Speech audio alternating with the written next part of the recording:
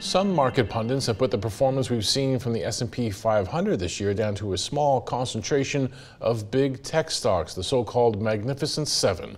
But our guest today says if you dig a bit deeper, a different story emerges. Joining us now with more, Ben Gossack, Managing Director and Portfolio Manager with TD Asset Management. Ben, always great to have you here. Always great to have your analysis. So let's. I know this has been a bit of a. Uh, bee in your bonnet, thorn in your side throughout this year. The Magnificent Seven. It's all about the seven. You've done some digging here. Tell me what you found. Uh, well, I appreciate our chats. Uh, I look forward to it. Um, yeah, I'd say you know I'd say several of the episodes I've been on where we've chatted about stuff. Um, that's been something I keep scratching at. Uh, we've talked about market breadth. We've talked about different areas of the market that have been performing, um, and yet I still look in my inbox and I see S&P 7 versus S&P 493, and I still don't understand what's happening other than narratives can be very strong. We're all busy people, um, and when someone says, you know, if the S&P is up 19% and it's driven by seven stocks, and I see the seven stocks are up, I might stop my analysis there because I have more important things to do in my life. But you like to dig deep. You like yes. to do analysis. You've done some analysis right now, and I think from what you were sharing with us before, uh, we can definitely see uh, some gains in the S&P 500 that go beyond just those seven names. Yes. Uh, so I decided to count all the stocks in the S&P 500 that have delivered performance better than 19.3%. Oh, so it beat them or beat the broader index. Right. So I, uh, I did my analysis as of last Friday. Uh, so the S&P 500 was up 19.3% year to date, which is amazing, which is more than what people had expected. Um, and I was expecting that I'd start counting the stocks that beat the market and I'd stop at seven. Um, but Craig, I stopped at 132. 132, so it's not just seven. Yeah. So there are 132 stocks year to date that have outperformed the S&P 500.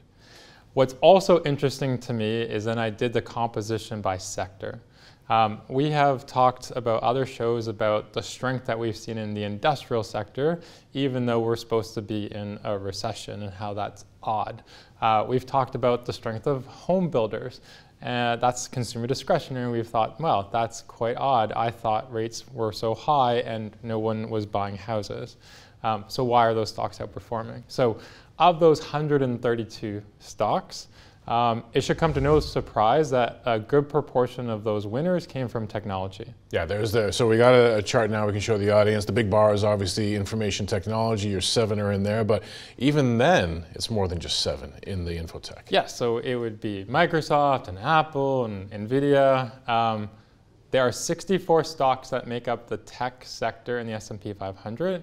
36 stocks are outperforming the S&P 500. So you had a 50-50 odds that you know, on January 1st, if you picked one stock out of the tech sector, that you would have outperformed the S&P 500. I'd say those are pretty good odds.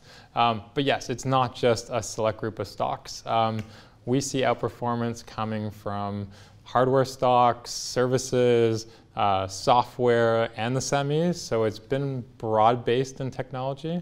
Um, and the next set of winners, there's 27 stocks that are in the industrial sector that are also outperforming the S&P 500. And we've talked about themes such as the CHIPS Act, um, the Inflation Reduction Act that opened up the, a ton of credits and government incentives for clean energy. So those stocks are benefiting as well. Um, and then the other big bucket came from consumer discretionary again, not the typical sectors that you would think would outperform the market when we've been talking about recession all year. Let's get that conversation uh, continuing on recession, right? Because it's been hanging over us and hanging over. She said parts of the market are performing that you wouldn't expect in a recessionary environment. Other parts, I think, if we looked at that uh, chart again, that you would expect to be safe havens if we actually thought we were in a recession or heading into a recession, have not been performing. What, what's with this recession story? Let, us start there. Like, what are we supposed to be thinking as this year is almost behind us? And full disclosure, I don't challenge the recession thesis or the recession fear, and there are many leading indicators that are telling us we're finished a recession, in a recession, still a recession to come. Um, but it's kind of like when we were, eh, you know, we were living in caves and we saw an enemy, we would run, and that's how we as a society lived.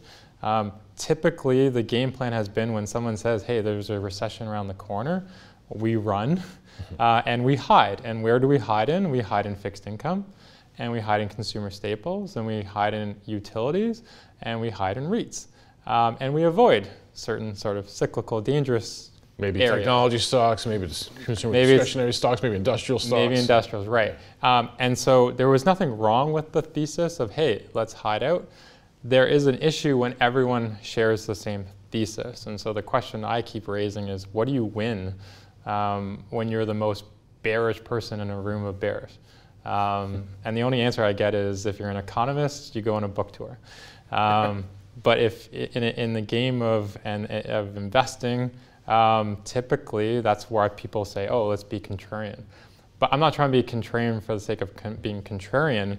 It's just more of like the looking at the areas that are outperforming and then starting to ask more questions like, why is this happening? Uh, and it goes back to another episode that we uh, I know we did where we started talking about the market making a bottom last year in, in the summer. Um, but if you looked at everything on a market cap perspective, that that was getting distorted, and you had to look at things more on an equal weight perspective to see that. Um, so it just again, I, I, don't think we can fight narratives, um, but I think we as investors, uh, as stewards of capital, it's our job to question narratives uh, and then look to the facts and the data to sort to back it up. And a lot of times that creates an opportunity. Let's talk about that, right? I mean, I, I know also that sometimes uh, you have a problem with this arbitrary definition of when we should be gauging our success as investors. That you know we've made another trip around the sun. Boom! It's January first. But you know, some of us think that way. The year is drawing to a close. We're almost into December. With everything that's happened so so far this year and defying expectations, do we take anything from that into 2024? Yes. Do not forecast. so um, I know we're getting to the end of the year. Um, I'm already starting to see people's projections.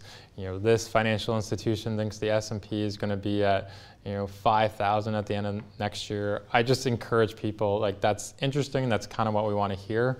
Um, but if you followed the forecast for last year, which was um, earnings cratering, which they didn't, equities following and cratering, which they didn't, um, yields collapsing, which they didn't. Um, the most important thing is that you follow your process. And for us, it's always been about secular trends. These trends can last three years, five years, and then we can avoid um, the sort of um, demands in terms of like, tell me what's going to happen in three months or six months.